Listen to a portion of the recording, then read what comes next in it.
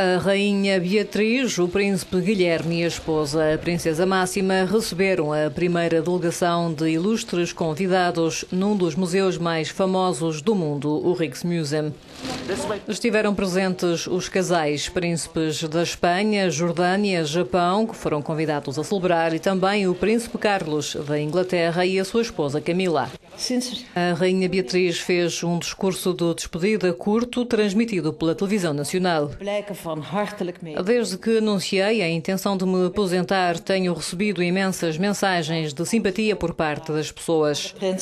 Esta decisão foi acompanhada por um amplo consenso de passagem da coroa para o príncipe de Orange. Ele tem sido uma pessoa muito ativa a nível nacional e internacional através do seu grande interesse pelo desenvolvimento e sei que é uma pessoa preparada. A rainha Beatriz fez uma homenagem ao seu marido, que faleceu em 2002, e agradeceu ao povo holandês a sua confiança durante 33 anos de reinado.